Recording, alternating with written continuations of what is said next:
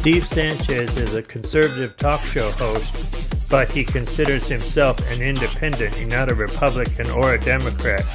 He's heard daily 3 to 7 on Las Vegas's KDWN 101.5 FM and nationally best of 7 to 10 p.m. on Sundays. His slogan is Constitution in one hand and a Bible in the other. He provides his audience solutions through his sponsors and business relationships. It's everyday things we talk about around the kitchen table life, money, politics, values, and faith. He's recognized nationally as a business financial consultant in the area of entrepreneurship and finance.